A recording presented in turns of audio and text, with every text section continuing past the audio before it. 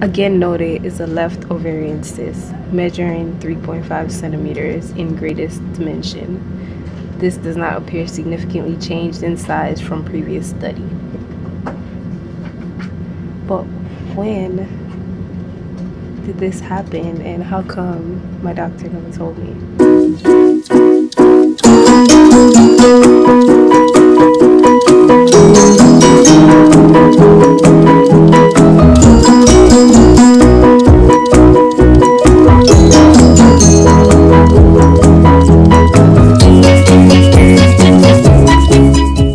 Ginelle Deandra. Good morning, everyone. So this morning I have my 31 week appointments. Mom is I thought I didn't have school today. You do have school today, but I had to give Melly a bath because he woke up saying he couldn't breathe. All weekend he's been coughing, but he hasn't. He didn't cough that much last night, but he woke up this morning saying he couldn't breathe because his nose is stuffy. So I gave him a warm bath. So on my way to my appointment, we'll get Joe Malachi. Tell the camera why I should let you stay home. Tamara, why should I stay home? No, you tell me. Mommy, why should I stay home? You tell me. You tell. Why do you want to stay home? Why do you want to stay home? Because I'm sick. What's wrong with you? There's tons of slimy stuff stuck in my neck, and I'm always gonna have to cough now. You don't want to do that at school? What are you gonna do if you stay home? I'll just cough it up. What are you gonna do if you stay home? I'll just swallow it back into my neck.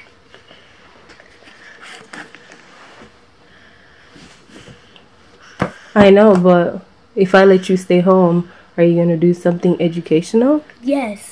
Like what? ABC Malaga. ABCmouse.com? Yes! So I should let you stay home? Yes! And after that, can I go to my room? I feel like I haven't vlogged in so long.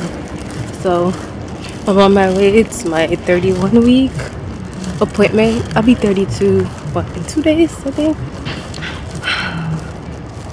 Going in, see how the baby's doing, see what good news they have for me. I brought my book with me because it's always a long wait. Today it's my first day of my class human resource. I'm starting my MBA finally. Pray for me.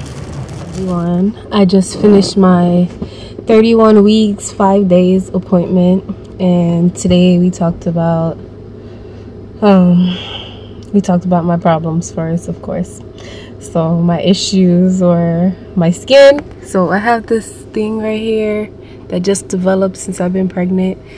Um, she asked me if I wanted her to refer me to dermatology or if I just want to try Eucerin and see after a week if it clears up. If it doesn't clear up, then by my next appointment, she'll refer me to derm because it's not only here, it's also on my stomach and on my back.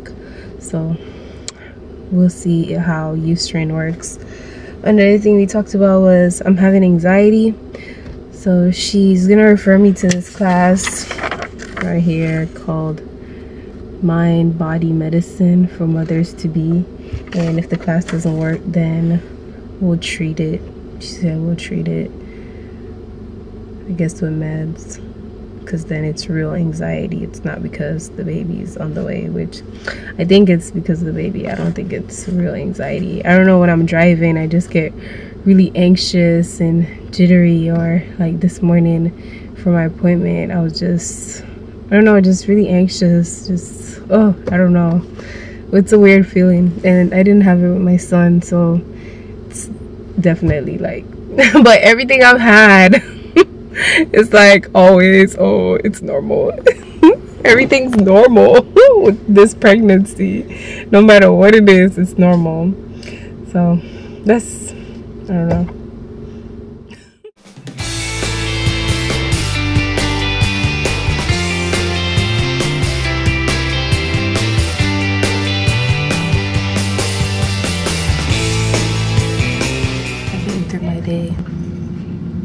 So tired.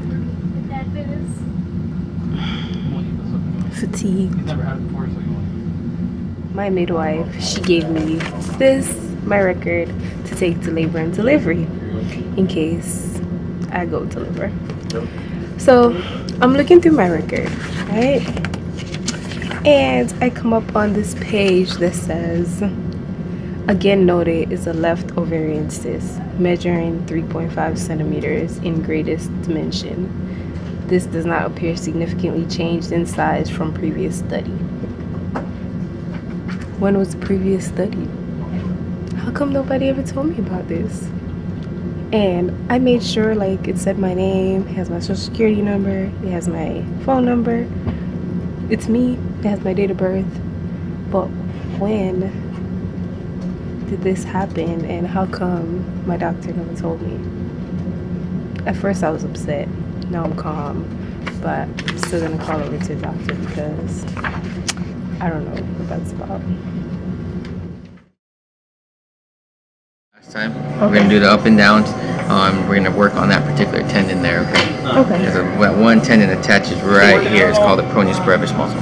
See how it kind of feels tender? Mm-hmm. Oh. Up here, it's not so bad. The good thing is I can move those those bones, and it's actually pretty good. Okay. Okay. I can also compress it, and it's good. But it's mm-hmm. when you pull your foot up and out. Pull. Yeah. pull. That's where it kind of gets you a little bit, right? Mm-hmm. Pull out that way. That's the big one. Okay. Does do you feel that pain at all? Not no. Okay. No when It's I more was you doing it right now. way, huh? Hold your foot up. Keep it right there. The loin pulled out. Yeah. Yeah. And shots there. Okay. Hold. Right there too. Yeah. That's exactly those muscles we're talking about. Okay. Okay. Okay. Peroneal muscles. Okay. Toes up. Hold it right there, nice and easy.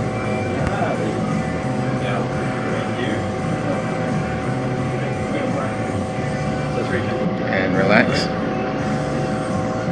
Okay. Toes up. Nice and easy. Hold right there. And relax. Let it go. I'm so surprised Toes it's up. swollen so long. Uh, it can be. It's a tendon. It's only. It's been what? Three weeks? Two weeks? Three three weeks. Three weeks. Yeah. Tendons kind of take that long, especially that that peroneal tendon because it pulls. And then, you know, other issues. You know, you can have gravity pulling everything down already. You feel that already, right?